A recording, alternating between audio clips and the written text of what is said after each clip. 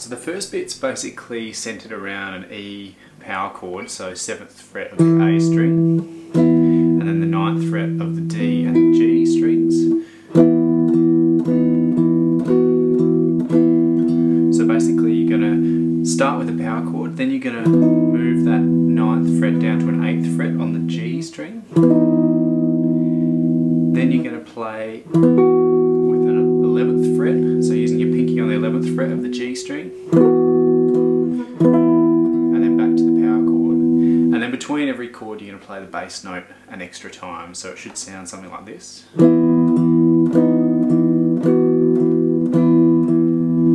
And you can play that with a pick just trying to target those three strings the A, D and G. But you could also try with a pick and the fingers. Or just completely finger picking.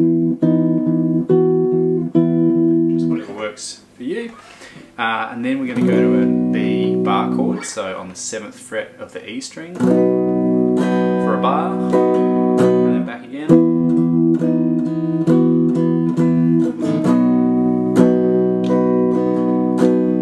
Then we go down to a, just an open E.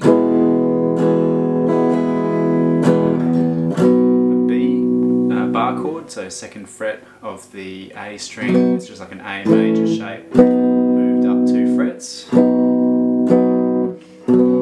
we're going to play this kind of suspended shape, so B suspended chord. So it's got a C sharp in it, so it'll be a sus2. So basically instead of just having all three um, of these fingers in the fourth fret, you're just going to have the B string as the second fret and then back to the full B bar chord. So it's two strums on B, B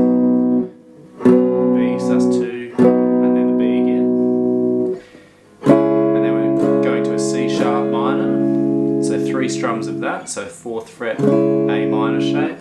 And then we're going to play the fourth, third, second, first, open A. So it's a C sharp, C, B, A sharp, A minor.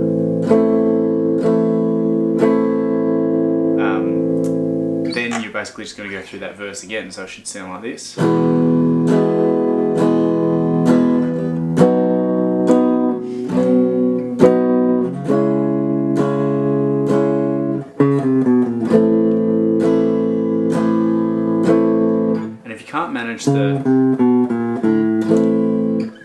There with 4, 3, 2, 1, you could just try 3, 2, 0, so C, B, A minor. So that'd sound something like this.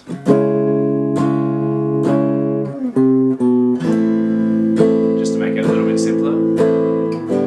Then we're going to an A major for two strums, F major, F sharp major, sorry, for two strums,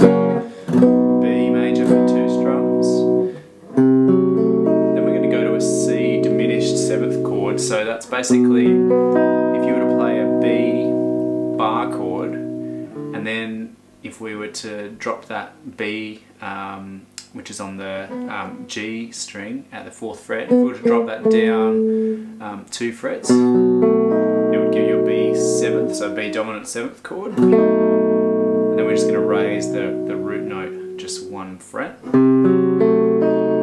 which is a really cool kind of passing chord between um, the B, there's your C diminished, and then a C sharp minor, and then an A minor.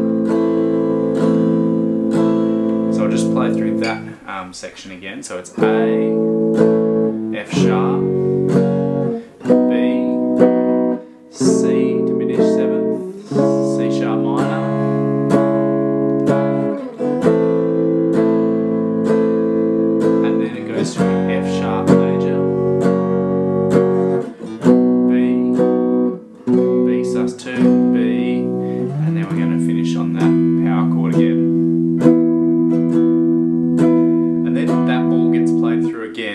we go to kind of the outro. So I'll just play through all of that, um, yeah, slowly.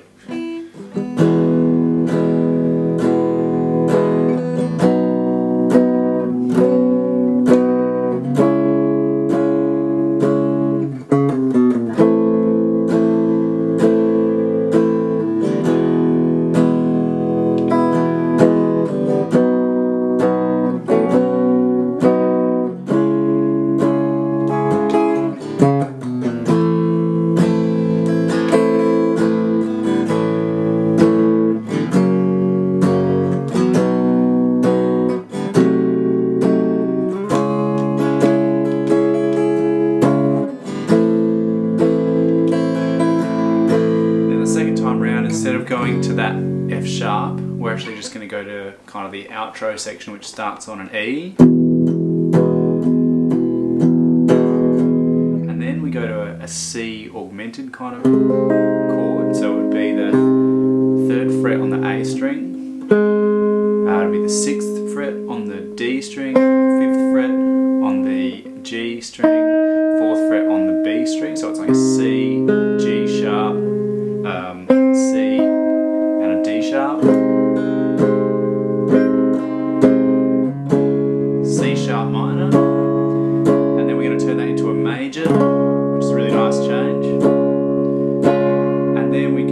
go to an F sharp minor. So you notice before we had kind of some F sharp majors, but now we've kind of changed with that minor sound. B.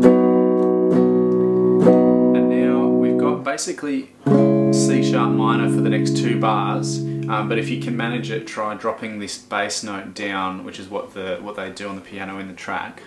Uh,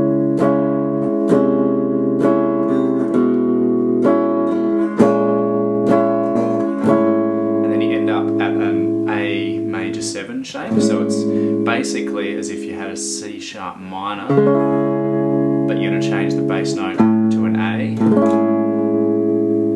You could also play an F sharp minor, I think that's what they play in the original track, but I just kind of like the, um, the bass movement there by going C sharp minor, then it's like a C sharp minor over a C, C sharp minor over a B, C